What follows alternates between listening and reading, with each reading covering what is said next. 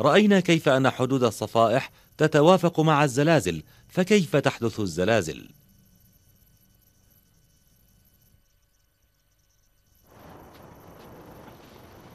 تهشم الصفائح مستمر منذ زمن طويل فقشرة الأرض معظمها شباك متقاطعة من الشقوق وهي ما يسميه العلماء بالصدع ومن الصدوع تنبثق الزلازل أحد جوانب الصدع يحاول الحركة باتجاه معين والجانب الآخر يتحرك بالاتجاه الآخر. ولن تتم الحركة قبل أن يتكون جهد كاف يدفعهما للحركة.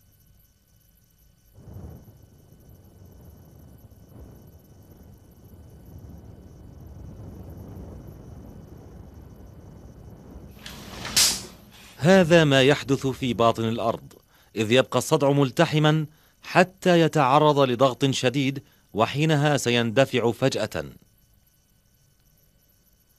أحد جانبي الصدع سيتحرك باتجاه معاكس لحركة الآخر مع إطلاق كمية هائلة من الطاقة والطاقة المنبعثة تكون على شكل موجات زلزالية إشعاعية باتجاه الخارج.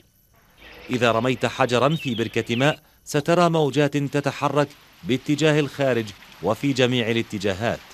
هذه الموجات مشابهة لموجات الزلازل.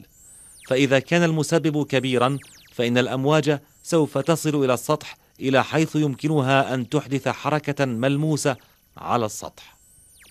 تحدث الزلازل بالقرب من أي من أنواع حدود الصفائح الثلاثة حدود التشتت وحدود التجمع والحدود التحولية.